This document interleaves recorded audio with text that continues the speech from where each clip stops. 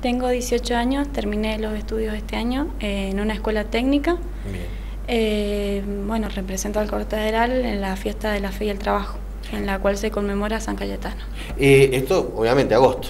Claro, en agosto. Bien. No tiene todavía la fecha definida, pero es en agosto, en el medio de agosto. Contanos cómo es la fiesta ahí, cómo se realiza, quiénes participan, qué se hace. Bueno, la verdad que es muy lindo. Hacen un recorrido muy lindo, primero con San Cayetano y luego en el día se come todos juntos en, en el salón y en la noche se elige a la reina.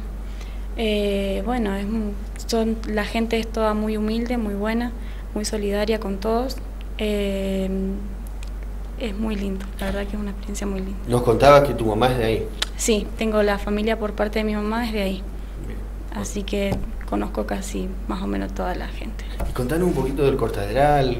Bueno, tiene, es un lugar muy lindo, tiene mucho paisaje, eh, cuenta con muy poca muy poco poblado, o sea, está eh, la escuela cuenta solamente con una escuela primaria en la cual solo asisten casi 25 niños, así que es muy poquito.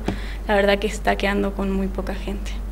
Eh, Micaela, eh, muy cerca de la Payunia, ¿no? Para llegar al Sí. Hay que pasar por la Payunia. Sí, queda bastante lejos, queda bastante alejado, por eso por ahí cuesta mucho viajar hasta allá y que ellos viajen hasta acá es bastante complicado. El tema de la movilidad y todo es. ¿Qué te llevó a vos a mm, ser candidata reina de esta fiesta?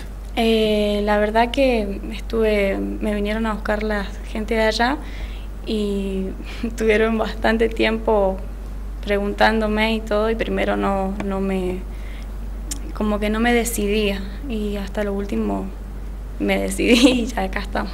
¿Cómo, cómo has vivido esto, no? Primero haber sido eh, elegida reina del Cortadral y, y ahora ser candidata del Festival Nacional del Chivo. Y la verdad con muchos nervios, eh, muy ansiosa por lo que va a pasar.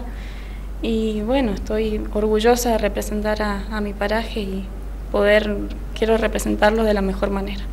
Muy bien. Micaela, eh, ¿vas a seguir estudiando? Terminaste en la eh, Eugenia Isaski. Eh, En la, claro, técnica electromecánica. ¿Vas a seguir estudiando? Eh, sí, quiero seguir estudiando una carrera, pero de, para maestra de primaria. Muy bien. Acá, Sí, acá. Bueno. Sí, así que.